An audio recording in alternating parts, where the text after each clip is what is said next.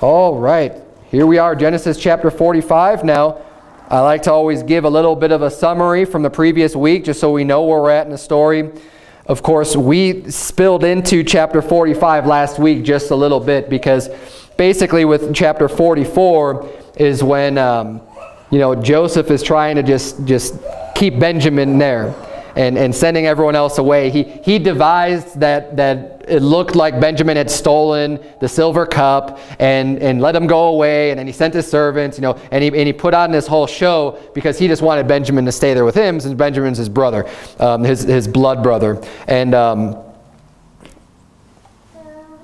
so that's what happened last week. And then Judah, you know, just, just really talks to him and he's pleading with him. He's saying, you know, I'm surety for him. You know, take me instead of him. You know, his father's going to die and all this other stuff. So it gets to the point where it's, it's real emotional for Joseph. He's hearing all this stuff. He's hearing Judah plead with him and he just can't take it anymore. He can't, he can't hold up the facade. He can't, he can't continue to keep this show going on. So he finally breaks down in chapter 45, and that's where it says, Joseph could not refrain himself before all them that stood by him, and he cried. So when it says he cried, all in, in the King James Bible, when it says he cried, it doesn't mean he wept. Every time you see the word cry, it means he's like crying out. He's, he's, he's, he's using a loud voice. So he cries out, and here's what he says. He says, cause everyone to go out for me. Basically, he's talking about his servants. You, I want everybody out of here. I want to be alone with my brethren, is what he's saying. He cries out so everyone could hear him. I want everyone out of here. And there stood no man with him while Joseph made himself known unto his brethren. He, he, wanted privacy. He wanted to talk to his brothers in private. And then it says in verse 2, and he wept aloud. So he first he cries out. He's not crying with tears. Now when it says he wept aloud, now he's actually weeping. He's crying. The tears are coming down his eyes. You know, he's, it's a real emotional thing. He's weeping out loud. It says, and the Egyptians in the house of Pharaoh heard. So they're, you know, I said last week, you know, they're probably outside the door, you know, listen and say, what's going on in there? And they hear Joseph, and, you know, he's so emotional, he's weeping, and he's not, he's not trying to be discreet about it. Previously, he had to go and, and kind of go in another room, you know, and, and compose himself. He wept a little bit, washed his face up, and cleaned himself up, and went back out. To, to keep his, his secret going. Now he's just coming out with it. So he, and these guys, you know, his brothers are probably still thinking at this point, like, what in the world is going on? Because they don't know that he's Joseph. He's going to reveal that to them. That's what this whole chapter is about. He's going to reveal himself unto them. But now he's like, he sends everyone out and he starts crying. And then it says in verse 3, And Joseph said unto his brethren, I am Joseph. Doth my father yet live? And his brethren could not answer him, for they were troubled at his presence. So now it's like, they're all shocked. They couldn't even answer him. They're like, wait, what? You know, like, you're who? And you got, you know, they're, they're, they got to be looking at him thinking like, how could this be Joseph? And, and probably looking at him really close and just staring at him and just trying to analyze and start to see in his eyes what they couldn't see before because they, you know, they're not thinking that's Joseph. But now after he says that, they're going to be looking at him saying, wow, this really is Joseph. And so in verse 4 it says, And Joseph said unto his brethren, Come near to me, or come close to me, come here. I pray you. And they came near, and he said, I am Joseph, your brother, whom ye sold into Egypt. Now it's like, okay, you can't doubt it because he's like, you sold me in Egypt.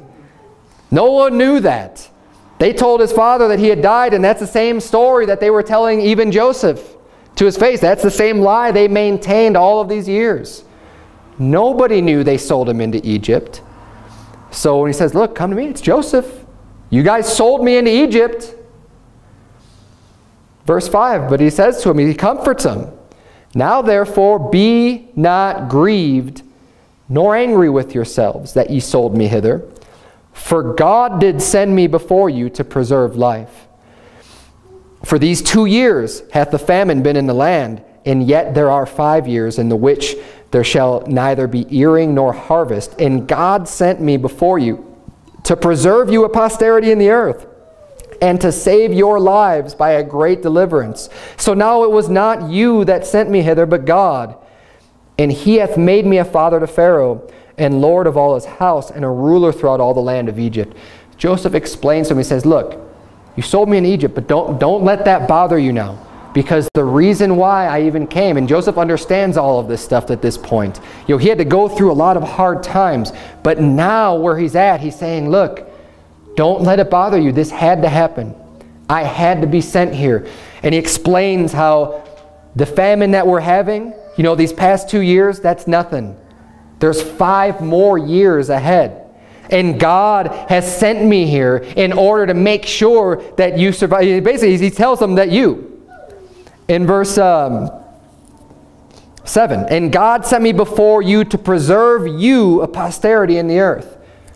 God loved Israel. God loved his children. He, he loved the family of, Israel, of the Israelites, and he wanted them to have a posterity. He wanted them to continue on, and that's what he's saying, you know, I was sent that. Now, of course, it wasn't just for their benefit. Everybody benefits from this because they're all able to survive and to eat and, and to, you know, make it through this horrible seven-year famine. But Joseph's trying to explain that to him, say there was a purpose. There was a reason. There's a reason why this happened. God used it for good. And I like, to turn if you would real quick just to chapter 50 because this comes up again. At the, end of, at the end of Genesis, this is like, you know, Israel dies and then his brother, his brethren now get worried again. See, they've been worried because they thought, what's Joseph going to do to us? You know, now, I mean, Joseph at this point he is number two in the land of Egypt, just below Pharaoh. But basically, he's running everything. He's got all of the power that he needs. I mean, if he wants revenge on his brothers for selling them in Egypt and everything else, you know, selling them as a slave, he can easily get it back now. And when, when Israel dies, they're thinking like, you know, maybe he didn't come down on us because our father was still alive and he didn't, you know, he didn't want to upset dad. And so they get worried again at the in, in Genesis chapter 50 because now Israel has passed on. He's died. And look at verse number 20. But Joseph tells them here again, because you know when they're worried about it, he says in verse 20, But as for you, ye thought evil against me, but God meant it unto good, to bring to pass as it is this day, to save much people alive. And, and you know, Joseph doesn't lose sight of that fact. He knows that he was sent, that there was a specific purpose why this happened. Now, so often in our lives, we can feel beat down. And I think one of the, the main theme that we can get from this whole story, all these chapters that cover Joseph and his struggles and everything that he goes through from being sold into slavery and being falsely accused and being imprisoned and, and being forgotten and all the hard times that he goes through. It was all for a purpose. It was all for a reason. Now, when Joseph's brothers wanted to kill him and they sold him as a slave, did Joseph have any idea what the purpose was? Not a clue. Not at all. But see, what we see in Joseph was this great example, and I preached this through the previous chapters, how he was a godly man. God was with him every step of the way. Why? Because he never forsook the Lord his God even in his worst hours, even when he was in prison. You know, everything that he did, God still blessed him because he was continuing, he maintained his integrity. He didn't get mad at God, which so many of us want to do. You know, when, when so many, you know, and, and think about it, I mean, even just being sold into slavery, that's pretty bad. I mean, if that were to happen to you, you lose your freedom and you're sold as a slave to somebody else. It's hard to even imagine what that must be like. I mean, we live in a free country. There are no slaves today. We don't have any of this going on. But imagine that happening to you. Where one day everything's great, you're living in your father's house, your dad loves you, you're his favorite son, everything's great. You have good wealth. I mean, he had all these herds and flocks. His brethren were out, you know, feeding the sheep and, and doing all that work. And, and he didn't need anything. He was taken care of, which is kind of the way that we live today. But just in one day, how fast that changed. And how easy, it's easy, you know, I'll tell you what, it's easy to serve God when everything's going great. It's easy to say, man, isn't God great? Isn't God wonderful? I'm so blessed. And praise the Lord, we ought to have that attitude. And I do have that. I praise God for my wife and my family and for this church and for everything else that's going on in my life and my job and the fact that I'm not have to worry about going hungry and all these great things that we have and the blessings. But in one day, that can all change. But how will your attitude be if that were to happen to you?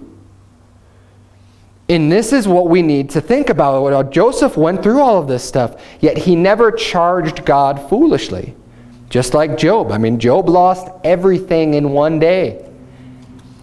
He lost everything. Yet he maintained his integrity to God and trusted in God. Even though you don't have to know what's going on. See, Job didn't even realize that it was Satan that was falsely accusing him. He didn't know that Satan was up there and, and trying to get to, to, to move God against him and all this stuff was happening. Now, he knew that, that this stuff wasn't happening by chance, but he was still leaving it in God's hands. He said, look, I don't know why this is doing this. You know, I don't have some great sin. I'm not in this iniquity that, that, that, that God should be punishing me like this. But he still maintained his integrity to God and his faith, and he never, he never you know, charged God foolishly with his lips. Joseph was the same way. And this is the way that we need to be. Because I'll tell you what, life isn't always just living on, on this high and this plateau where everything is going to go great in your life all the time. We're going to hit those valleys. And it can happen when you least expect it. We need to make sure we're built up enough now when things are going well. So when these times come, we could remember Joseph. We could remember Job. We could remember these people have gone through this and just have the faith and see what, what is faith? It's basically you're trusting in the unseen, right? Faith is the substance of things not seen, or the, the evidence of things not seen.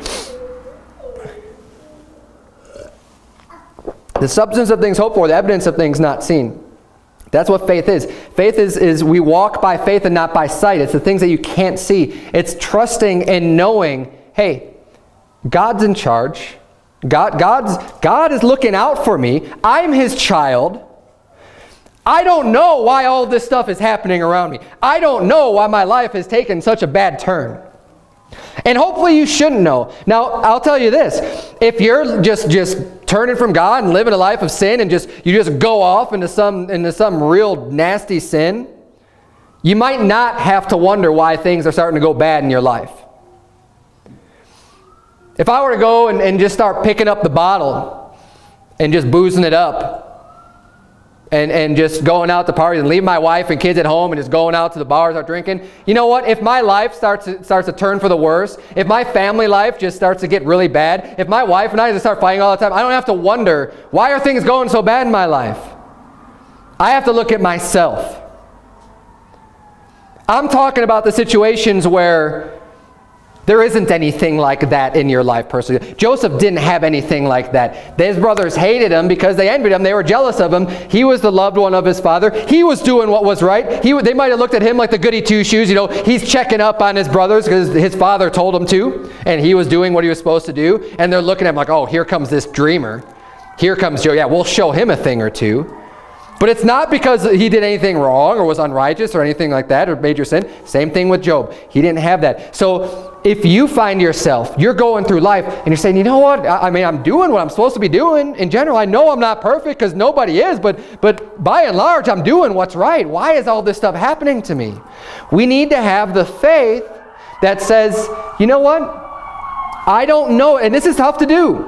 But we need to have the presence of mind through your grief or through your turmoil, through the persecution, through whatever you're suffering to say, in the end, you know, one day I'll understand what this is all about.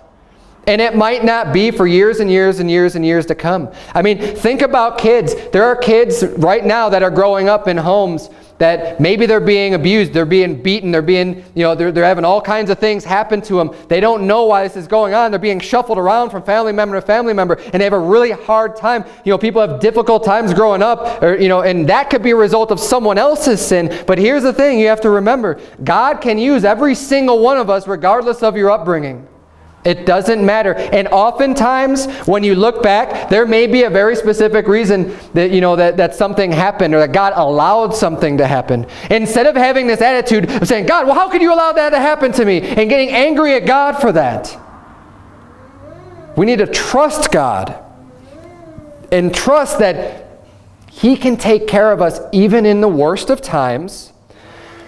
And, and know that, you know, the Bible says in Romans 8 28, And we know that all things work together for good to them that love God, to them who are the called according to his purpose. Now, a lot of people will like to quote that verse and, and imply that, well, all things are going to work together for good. But what they don't continue to read is to them that love God, which is an important key of that verse. Because not everything is necessarily going to turn out good in your life. As I mentioned earlier, you know, if you start getting into sin, you can't just assume that everything's just all going to turn out for good when you're, when you're bringing consequences upon yourself, when you're bringing God's judgment upon you. No. But if you love God, Jesus Christ said, if you love me, keep my commandments. And this is love, First John. This is love, that we keep his commandments, his commandments are not grievous. Keeping God's commandments is, is, is one of the main ways that we show God our love for him. God, I love you. I honestly, sincerely respect your words and believe that, that this is true and this is what I need to be doing because it says so in your word that you've given us. I love you, so I'm going to show you that I love you and respect you by obeying you. So, yes, to them that love God, Truly, not just in word, but in heart and in deed and in action, when you love God. Now, you don't have to necessarily love God to be saved. You just need to receive a free gift. But if you love God, you're going to be doing the works. You're going to be doing what he told you to do. If you're that type of person, the Bible says all things work together for good. And this is perfectly played out in the life of Joseph. Joseph loved God. We see that in Scripture. We see that he was a righteous man. You see that he, that he loved the Lord and that he was obedient to God. And it took some time. Now, it doesn't happen overnight necessarily. It can, but not necessarily. I mean, Joseph has spent years. He was in slavery. He was in bondage before God finally elevated him and brought him out of prison and elevated him to the position where he finally held as second in command in the whole country. But he had a lot to go through to get to that point. It did work together for good but it took time. And, and this is the part that we have problems with is the time part, right? Because nobody likes being in the dungeon. No one likes being in slavery. No one likes being going through those rough times. But we have to maintain the faith of, of, of knowing this will work out for good. I don't know when, I don't know why, I don't know how, but I know what the Bible says. I know that God says, that the Bible says in Romans 8, 28, all things work together for good to them that love God. I love God. I'm going to keep his commandments. I'm doing what he's telling me to do. It's going to work out. And it usually doesn't work out the way that you plan. But it works out the way that God plans. And God's got the better plan anyways. Um, keep your finger here in Genesis 45. Um, but flip over, if you would, to Psalm 37. I want to show you this real briefly. We've covered this verse uh, is either one week ago or two weeks ago. I don't remember which. But um, Psalm 37 is, is, is very encouraging words as well that explain this same concept. And, and why we can have our faith in God. Psalm 37 and we're going to start reading in verse number 23 of Psalm 37. The Bible reads, The steps of a good man are ordered by the Lord, and he delighteth in his way. So if you're if you're doing what's right, again, it's it's you know it's similar to them that love God. If you're you know the steps of a good man, you're you're doing what's right, generally speaking. You know, again, putting aside, I know we're not perfect, but the steps of a good man, you're ordered by the Lord. Ordered means that God is lining up your steps for you. He's leading you in the path. You can't always see very far, but you can, you can see your next step that you need to take. God is lining it up for you. He's ordering it for you. Things are, events may be happening in your life, and you're not even probably thinking about it, but He's moving you in a direction. This is where He wants you to go. Verse 24, though he fall, it's talking about the good man whose steps are ordered by the Lord. Though he fall, so God's lining up your steps for you. You still might fall. You still might have that hard time. Someone might, Satan might come and attack you. Though he fall, he shall not be utterly cast down, for the Lord upholdeth him with his hand. Praise the Lord for that. And we saw that as we were looking through Joseph's story, where it says, but God was with him. Remember, it said that more than one time. God was with Joseph. So when he's in that dungeon, that's, that's a serious fall, right? God was with him to hold him up.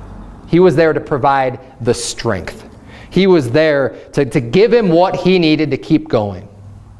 And he'll do that for you. He says, you know, if, if, you, if you're a good man, if you, if you love God, the steps of a good man, they're ordered by the Lord. It says, though he fall, he shall not be utterly cast down, for the Lord upholdeth him with his hand. Verse 25, I have been young, and now am old.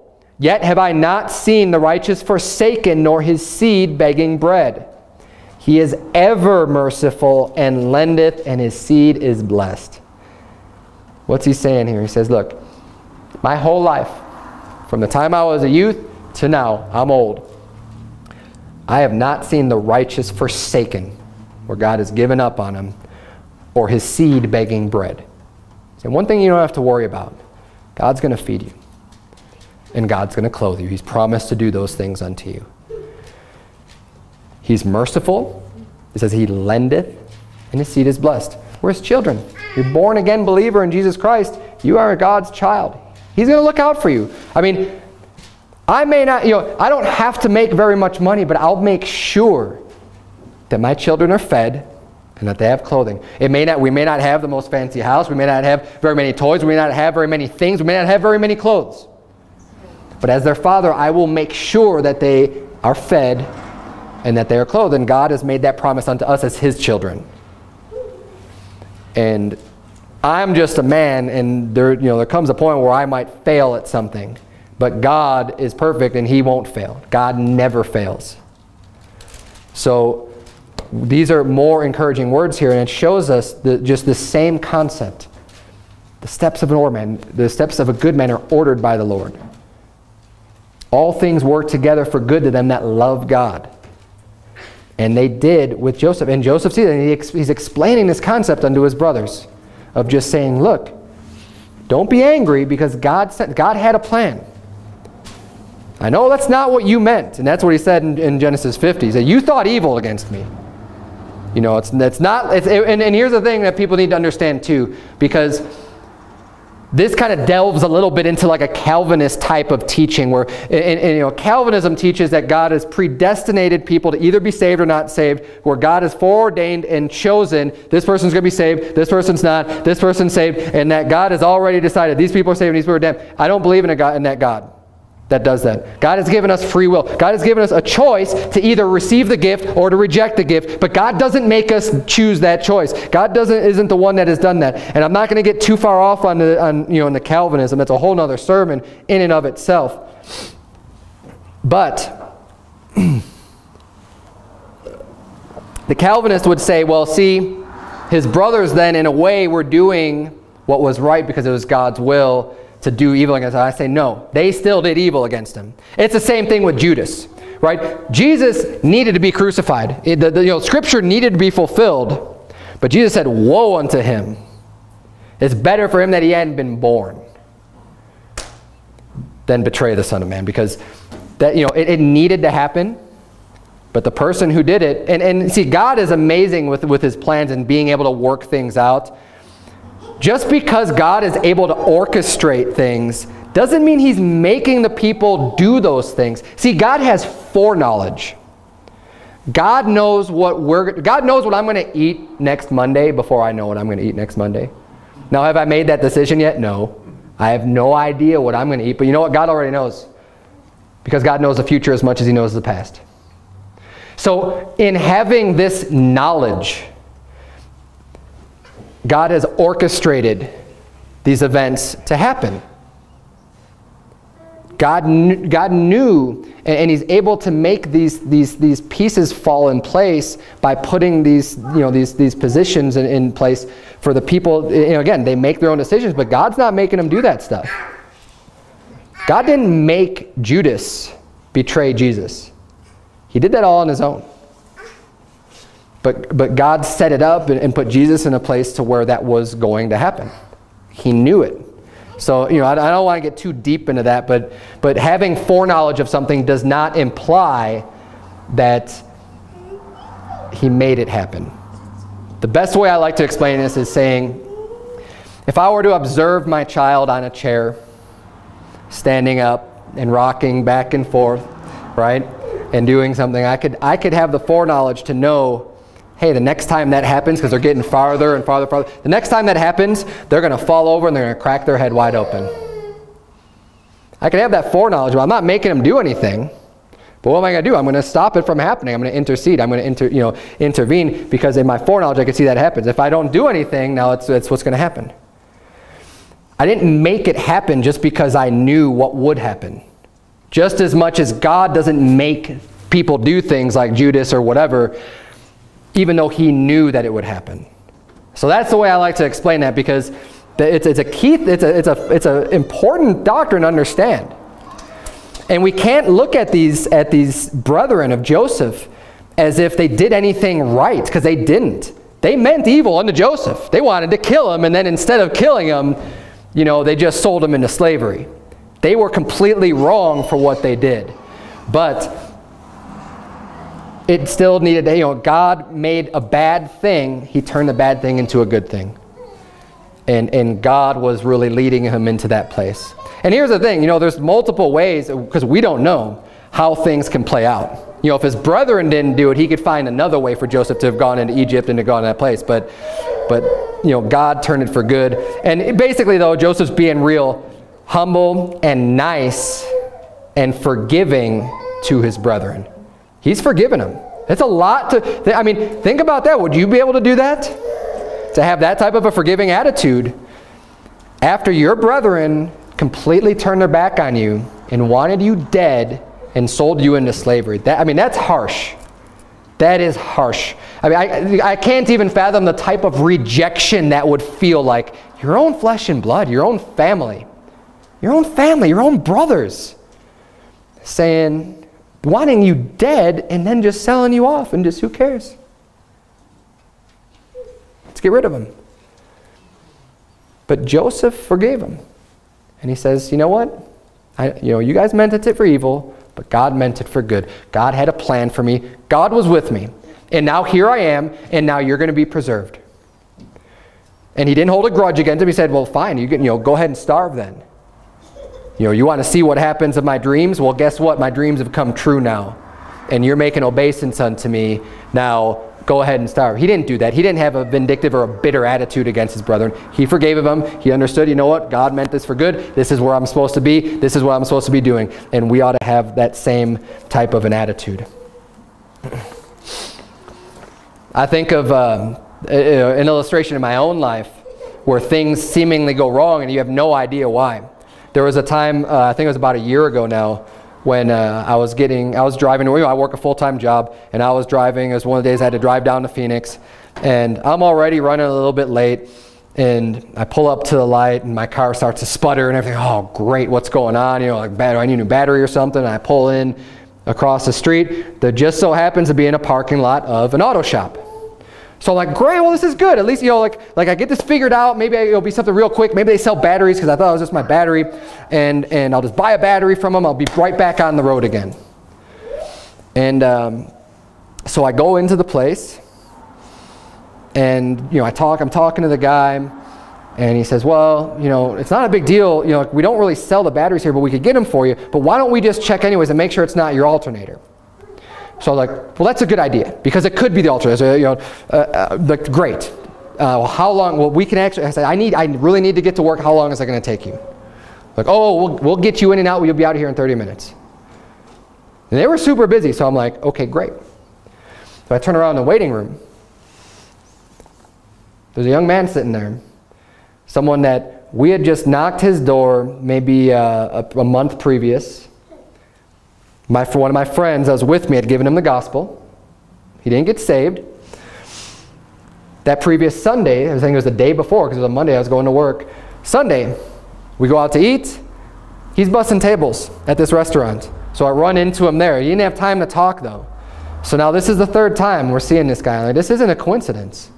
It's not, it's, not, it's not by chance that my alternator failed that day and that, and that they put me in there. Now, because I turn around, I'm like, I'd be, I'd be stupid to pass up this opportunity. right? And he's there with his girlfriend, and I have the time. I sit down in the waiting room, and I start going over the gospel with him again. And, and, and you know what? It took a while. It took a long time. But I'm not, at this point, I'm not thinking about the time because who cares? I mean, I'm sitting there and I, I want to get this guy saved. And even if my car was done, I'd still do it. But what was really interesting is that it took them well over an hour. And by the time I was all done with this guy, and you know, him and his girlfriend had both prayed and, and accepted Christ on that day. And then when I'm done, I'm like, they haven't even said anything about my car. You know, like what's going on here? And then I went and questioned about it. Like, oh yeah, like we, we forgot. Like it's you know it's it's done. You're ready to go. It was the alternator, and I was like, I mean, it's just amazing the way that it works out. And um, there's a lot of things, you know, because I was thinking like, oh man, you know, it's, you know, I got to deal with this, and now it's more money, and it's time, and I'm not getting to work, and I got all this stuff to do, you know, in, in, in my busy schedule, and, and, and it's a really bad day. That bad day turned around immediately. Now, obviously, as I mentioned earlier, it may not always be that quick of a turnaround, right? And you might not always see why things are lining up the way they are. But God can lead you to, um, you know, maybe start relationships with people that you don't even realize that's going to produce fruit much, much later on down the road too. You know, maybe you get in an accident and maybe you have to have surgery and you go and you, you meet someone in the doctor's office or you, you know, whatever. There, there, there's things that can happen and, and God can make all of these events turn out in a specific way to where you can end up doing a lot of good. Because that's what Joseph did. He ended up doing a lot of good. He saved many people's lives because he was put in that position and he was being used of God. We don't know how things will ultimately turn out. So what um, the point of this is to, is to be encouraging. This is an encouraging story for us. Because no matter what bad things may happen, I mean, God forbid, even, even in the loss of a loved one or, or something along those lines, you know, something really tragic, we need to maintain the faith and just know God can make this work for good. And, and, and use that to help you through. Keep that faith in God and don't, and don't turn on Him because you never know what He might be using. Now, and, it, and, it's not always bad things that happen to us either. Obviously, we need God. We need to have this faith and this type of encouragement when the bad things happen. But sometimes it can be good things too. You know, and what I mean by that, you know, Joseph had a mix of bad and good things that brought him to the place where God wanted to use him. So, obviously, the beginning with being sold into Egypt and, and being thrown into prison, those were all bad things. But then God has elevated him to this position under Pharaoh. But he still needed to maintain the right focus on serving God and not let now all of this wealth and everything that he got go to his head and forget God and then just, just say whatever. Because he was, now God had the plan for him to be used to, to save people. But through this whole time, Joseph had the free will. He could have just been like, cool, I'm going to live it up. I'm in this great position. And he, he could have messed that up. But, but he didn't do that. You know, he, he maintained his integrity. Turn, if you would, to Esther, because Esther is another very similar story in the Bible. Esther chapter 4. Now, if you remember Esther, I'll give you a brief synopsis of the beginning, the first couple chapters in Esther. There was King Ahasuerus. He was king over the whole land, and he had a wife that was named Vashti. Vashti the queen. And she was real beautiful, and he was having this big party, and he says, call Vashti the queen, you know, because he wanted everyone to see just how beautiful she was. You know, and Ahasuerus was not a godly man. He was a real proud man and, and whatever, but he was throwing this big party, and he wanted to show off his wife and to his friends. And he's like, you know, bring out the queen. And the queen didn't come. She didn't listen to him. She was being disobedient, so he's like, you know, he talks to his counselors, like, what are we going to do about this? You know, I mean, she just, he's the king. I mean, he's in charge of everything. He's the king, and now his own wife is just disobeying him. He's like, this is going to cause a lot of rebellion. I mean, not just from the people, but they're saying, you know, the other wives are going to hear about this, and they're just going to be like, well, whatever. You know, because God has ordained that, that the, the husband is the head of the household. And he's the one that makes the decisions. And this, uh, you know, these, these women are going to hear what she did, and they're going to use that to, to, to cause their own rebellion against their husbands. So here's what he did. He said, okay, you know, he's going to put her away. He's going to divorce his wife, and he says, I'm going to get a new wife. And he had this whole thing. I mean, he's getting virgins from all these different lands and stuff. And, and you know, this isn't a good story. Because he's, he's basically like getting them to recruit these women to come and, and audition to be his wife. And part of the auditioning was they, they stay with him a night. And each one, they brings, you know, one after the other, after the other, after the other, after the other. And then finally, Esther is brought in. And the way they bring him in, it's not necessarily saying that it's, that it's what they wanted to do. You know, they're, you know, he's got his people going out and finding the most attractive, the best, you know, these best virgins to bring in to be his wife. Now, Esther had found favor with him, but I don't think that that's necessarily what Esther wanted to do, was to be chosen to, to go in and, and just be one of these many concubines for the, for the king and possibly become the queen. Like, when I read the story, it looks like that was not, you know, women were not lining up to go and do this.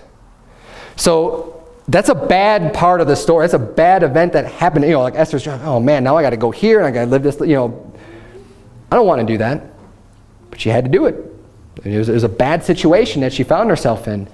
But you're in Esther chapter 4, look at verse 13, because then Mordecai explains unto Esther, because now Esther has found herself as queen. Uh, the king Ahasuerus found favor. He loved her. He's like, oh man, this is the one. She's, she's great.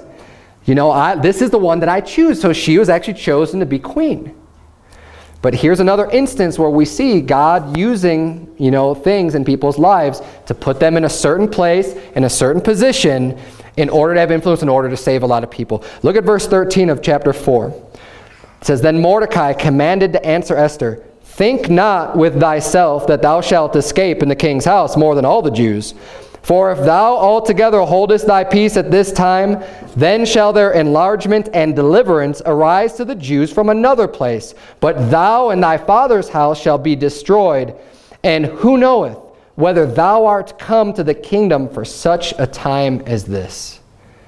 He's saying, how do you know that, that all of this stuff didn't actually happen just for this one time, for you to be here right now in this place. Because what had happened was um, Haman had, had hated the Jews. And it was because of Mordecai. You know, Mordecai would not bow down and worship any man because he served the Lord. And Mordecai was this man that he wanted everybody in the kingdom to bow down to him when he walked by. And Mordecai refused to do it because he had integrity, because he served God. So when he, he heard that, you know, like he, he hated Mordecai, he had, you know, he really didn't want anything to do with him. He hated the fact that, that this guy would not submit and, and bow down to him. And then his friends told him, look, well, he's a Jew. Like, none of the Jews do that. So he's saying this really infuriates him, you know, because he wants them to bow down to him. He was a proud man and he made a decree. Basically, he talks to the king, and the king is real sloppy. He's just like, oh, yeah, okay, well, whatever, go do whatever you want. And, and gave him the authority. Essentially, I'm, I'm grossly paraphrasing that, but go read the story for yourself. You'll see what he does. He gives them the authority, he gives them the ring, and says, okay, fine. And what he does is says, he basically makes a day where they're going to slaughter the Jews.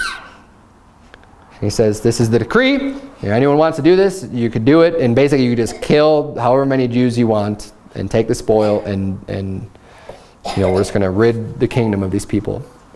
And that's what, uh, what Mordecai's plan was. So, uh, excuse me, Haman's. That was Haman's plan. Mordecai is a good guy. Mordecai was, was the uncle of, uh, of Esther, and he was the one who raised Esther. So Mordecai heard about all of this stuff, and he tells Esther, he says, look, you need to talk to the king about this. And Esther responds and says, well, okay, that's great, but I'm not allowed to go in and talk to the king. He said, the only time I'm allowed to talk to him is when he calls me. And he hasn't called me for like the past month. I haven't even talked to him. I don't see him. They're talking about a weird relationship. she's, a, she's a queen, yet she hasn't seen him in like the past month. But that's a whole other story. So she, you know, uh, she's saying, and if I were to just go in unto him, I can be put to death. That's how serious it was. The only way he would have to show mercy and extend his scepter unto her for her not to be put to death. If, he, if she just walks in on him because she has to talk to him, that's just death penalty. So she's you know, fearful about this, saying, look, I, you know, I, I don't really want to do this because if he doesn't grant me that mercy, then I'm just going to be put to death over this. And that's where Mordecai explains. He says, look, don't think that you're, because she was a Jew. She said, don't think that you're going to escape. No, no. God will make sure if you don't stand up at this moment, in this hour, when, when you actually have the opportunity to do something, if you choose not to do it, God will bring that back around your head. He says, but, and this is why, again, with the Calvinism thing, he says, look, God will deliver his people. And he had faith in it. He's like, I know God is going to deliver his, the Jews. It's going to come from somewhere else if you don't do it, but that's going to, you know, destruction is going to come for you, though. And he says, and, and how could you know whether you haven't come to this place for such a time as this? Joseph was brought to that place for such a time as that famine, to do good and to save people. Esther was made queen. All those events that happened in her life, the bad events, being brought into the king's house, you know, against her will, and, and, and being say, okay, well, you're going to have to go spend the night with this king now.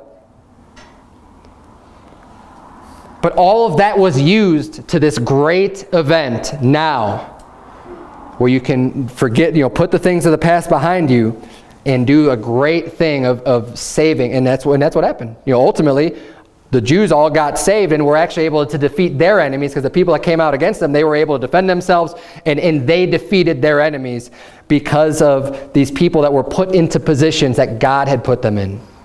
Now, you may not ever be in the position of these, you know, these extreme high authority, but you may. We don't know. Most likely not. I mean, it doesn't happen all the time. We see a couple stories of this in the Bible, and they're exceptional stories, and they're recorded for us. So most likely not. But you will be in your own positions of influence. You will be in your own positions to help people out. And you have to realize that God can lead you and bring you to these places to help people out. So when bad things are happening to you, keep that faith and just keep moving forward and know, you know, somehow God is going to use this event for good in my life. I don't know how. I don't have to know how. But I trust that God will do that because the scripture says so. And that's the main theme of this chapter. We'll go through the rest of the verses now, but that is the main theme of what's going on in Genesis, especially with, with all of these chapters regarding Joseph. But let's look at... Um, Yeah, let's go, let's go through the rest of these verses. I've got one other point in here, but I'll, I'll leave that for the end. I'm going a little bit longer than I thought. So you can't trust me when I say it in advance, oh, it's only going to be like a 30-minute sermon because I never know how long I'm going to preach for. But um, let's, let's go through the rest of this story. So Joseph explains to them all the stuff. You know, there's going to be a lot more famine. We need to be ready for this. And um, in verse number 9, he says, Hasty, so he's a hurry up, go to my father and say unto him, Thus saith thy son Joseph, God hath made me Lord of all Egypt. Come down unto me, tarry not, and thou shalt dwell in the land of Goshen, and thou shalt be near unto me, thou and thy children, and thy children's children, and thy flocks and thy herds, and all that thou hast, and there will I nourish thee, for yet there are five years of famine lest thou and thy household and all that thou hast come to poverty. So he sends this message back to his father saying, look, come on down, bring the whole family, bring the kids, bring the grandkids, bring everybody down. You need to be here with me. You're going to live with me. I'm going to take care of you. Otherwise, you're going to come to, you know, all of your possessions are going to be gone because there's still five more years of famine. And they were already, even in the first year, they were sending to go get food. They didn't have some big storage bank of, of food at their house because they were already had to go buy it. And he says, this is going to go on for five more years. You're going to lose everything. Come on down, be with me, bring, you know, move in here. And he tells them he's got Goshen, he's got this nice land that they can stay at, and, and they will survive there. And verse number 12 says, And behold, your eyes and behold, your eyes see, and the eyes of my brother Benjamin, that it is my mouth that speaketh unto you, and ye shall tell my father of all my glory in Egypt, and of all that ye have seen, and ye shall haste and bring down my father hither. And these are his instructions unto his, unto his brethren, saying to go bring, bring his father. Verse 14, And he fell upon his brother Benjamin's neck and wept, and Benjamin wept upon his neck. Moreover, he kissed all his brethren and wept upon them, and after that his brethren talked with him. So, you know, this, this big event where he, he breaks down, he tells them about everything. You know, he talks all of them now, and he's going to send them home to bring their father back. And verse 16 says, And the fame thereof was heard in Pharaoh's house, saying, Joseph's brethren are come, and it pleased Pharaoh well and his servants. So they, they finally realized, because Joseph wasn't really telling anybody about this. He was telling his servants to do these different things, you know, put their money back in their sacks and put the silver cup there, but they didn't really know what was going on. Joseph kept all of this to himself. So now even his servants finally figure it out. They find out because they were, you know, they were listening to hear what's going on. And they're saying, hey, Joseph's family's, you know, his brethren are here. And of course, Pharaoh's thrilled. Pharaoh had a lot of respect for Joseph. He loved the fact that he had this wisdom and he was able to save the whole land through, through the interpretation of the dream. So now he hears, well, great, his family's coming. We're going to we're gonna take care of them. Joseph's been doing a great job of running everything. And it's already been two years in. So, like, it's already coming to pass. Pharaoh's seeing this, that, you know, before when he put him in that position, it was still the good years. And now, just as he said, Pharaoh's already seeing this stuff come to pass. So he's thinking like, it's proven. You know, this guy knows what he's doing.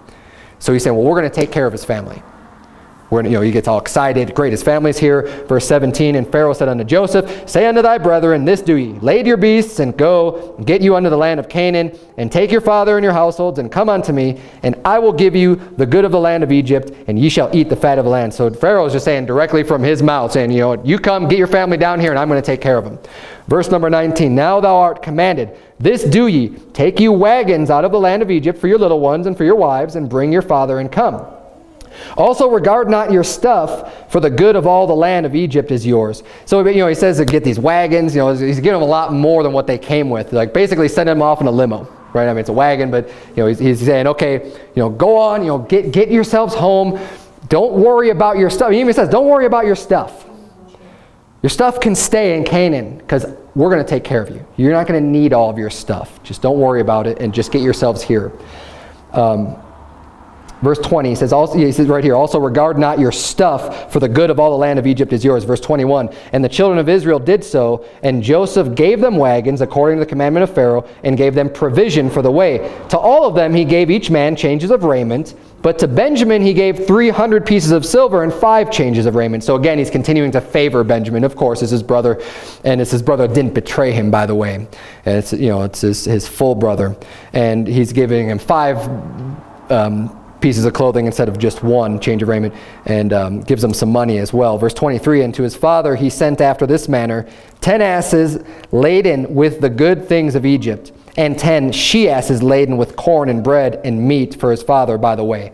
That's a lot of, I mean, that's 20 asses of stuff. He's carrying all this food and stuff. He's saying, look, here's plenty of food. You can take your time making the trip down to Egypt. You know, come on down. We've got all this stuff. And it's basically proving and it's also the, the abundance of what they're getting for him to believe that this, you know, Joseph is really alive, because we'll see that here at the end, that at first he doesn't even believe it. But like he sees all of this stuff, I mean, all these asses of food and everything else, saying, come on down. Verse 24, so he sent his brethren away, and they departed. And he said unto them, See that ye fall not out by the way. And they went up out of Egypt, and came into the land of Canaan unto Jacob their father, and told him, saying, Joseph is yet alive, and he is governor over all the land of Egypt. And Jacob's heart fainted, for he believed them not. And you can imagine what this must sound like to Jacob after all of these years of just, just knowing his son was dead. I mean, they brought him, they deceived him.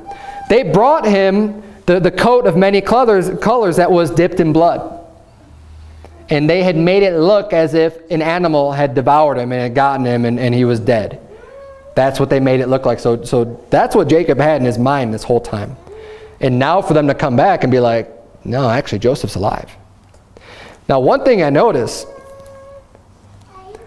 it says in verse 27, And they told him all the words of Joseph, which he had said unto them, and when he saw the wagons which Joseph had sent to carry him, the spirit of Jacob their father revived. And Israel said, It is enough. Joseph, my son, is yet alive. I will go and see him before I die. It doesn't sound like they're telling him, oh, by the way, we're the ones that sold him into Egypt. And tell, you know, like, Joseph's alive. We know this because we actually didn't kill him. We tricked you when you brought you that coat. They didn't tell their father that. They probably should have come clean about that, but they didn't. They, they let him, because if they would have said that, he wouldn't have needed to see the wagons and everything else to be like, oh, okay, yeah, that must really be from Joseph. Because that's what it says here, is that when he, it says, and when he saw the wagons which Joseph had sent to carry him, the spirit of, J of Jacob, their father, revived. So when he saw that, that's when he believed. Because at first he didn't even believe him. He's like, no way. He's dead. How can, you know, don't lie to me. But he saw all the stuff that he had been given, and it's just, just this enormous amount of stuff, and the wagons and the food and everything else. And Israel said, it is enough. It's enough. I've seen enough. Joseph, my son, is yet alive. They didn't bring up the fact that they're the ones that did it. But, um, you know, at this point, it doesn't really matter. Uh, probably caused their father a lot more grief anyways. But, but it's just kind of interesting because they kept that story up the whole time. Uh, all the way up until they realized they were being judged for what they did. Let me see. I have 2 Corinthians chapter 4 in my notes. Yeah, we'll, we'll, we'll dig in. Turn if you go to 2 Corinthians 4 because we're done. That's, that's Genesis 45. That's the whole chapter. And you know, the main theme though is, is just this God directing Joseph and using him for this great moment in his life to be able to, to save people alive and, and to do this work for God. And, um, you know, I know we all have different life experiences. Every single one of us. And that's part of what makes you who you are. We all have a different background, and we're honestly all going to be able to reach different people. We have different personalities. You know, there's some people that, that I talk to that they just don't like me. And it's fine. I know. How could, they, how could anyone not like me? I don't know. But there's some people, you know, and it's true with all of us. You're going to rub some people wrong, Just, just because your personalities clash, because the way I say things or whatever, it's just, you know, people just don't like that. And it's like that with everybody. But God made us all different because there's other people that think, hey, man, you're right on, you know, we're right on line together and, and we get along great. And those are the people I'm going to be able to reach. Or there's other people that maybe have a similar experiences that I had that I could really relate to. They could relate to me and say, yeah, man, you know, we both grew up in a Presbyterian church. Or, you know, like, yeah, I used to have those problems with alcohol and drugs and, and I could help you with that. You know, whatever, whatever the case may be, you know, mistakes that have happened in the past or bad things things that have happened. You know, I grew up in a poor house. I had a bad father or I had a bad mother. They, they treated me poor. You know, whatever the case may be. We all have different experiences, different life experiences, things that we've gone through. And God has a plan for your life. And the point is, even if you've made mistakes or haven't had the ideal upbringing, God can still use you to do great things. And you don't, might not even know what those things are right now. But don't lose sight of the fact and trust that He can use you. 2 Corinthians chapter 4, this is just a little bit more um, encouragement. Verse number 7. 2 Corinthians 4 7, we're going to close on this. This is the last place we're going to turn, the last thing we're going to discuss. 2 Corinthians 4 7.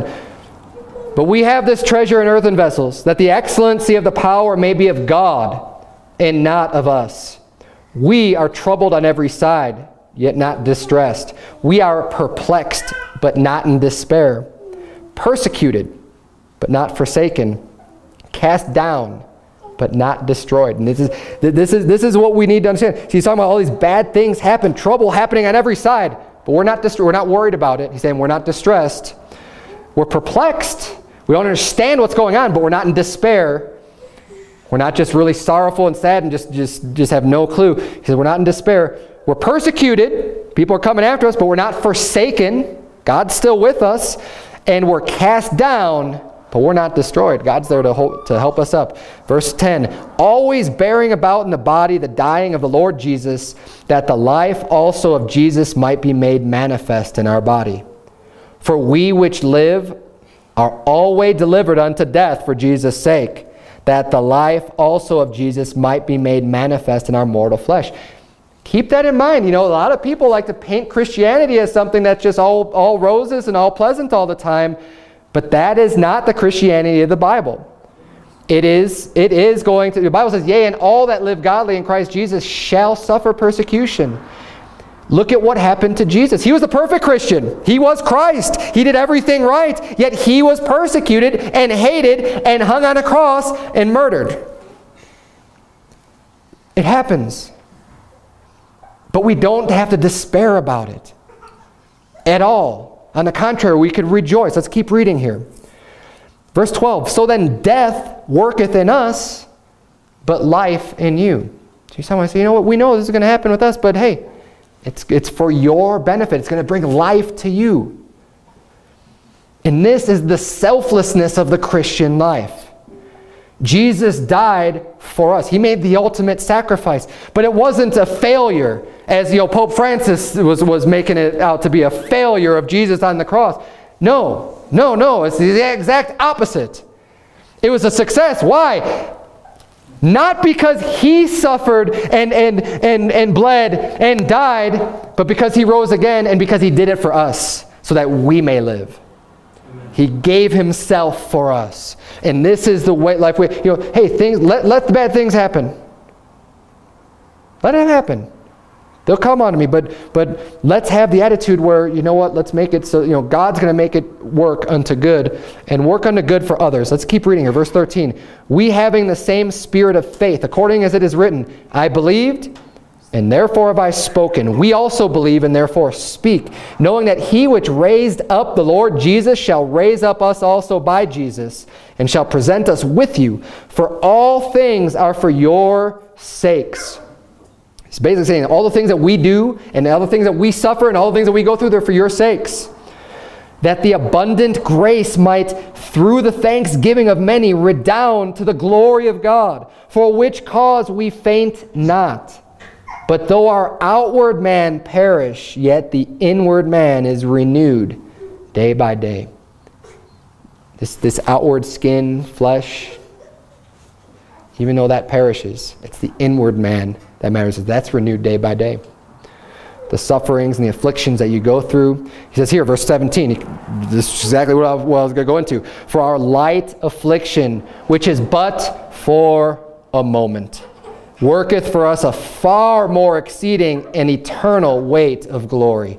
He's saying the, the, the troubles that we go through now, he says he calls it our light affliction. Now you think about the things that the Apostle Paul went through, he's calling that light. He, he lists off all the you know, that he was shipwrecked, he was whipped, beaten, stoned, you know, all these things that happened to the Apostle Paul. He says, this is my light affliction. And he says, ultimately, it only lasted a moment. These, these bad things that happen, they, they come and they go. It, it's a small period of my life, but you know what? Those small periods that you endure, that you do for others, he says there's a much far more exceeding and eternal weight of glory. God will reward you for the, for the great, you know, the things that you suffer and the things you love and the things that you do for Him and the, and the way that you put yourself out there and you get persecuted and the, the, the, the troubles that you go through.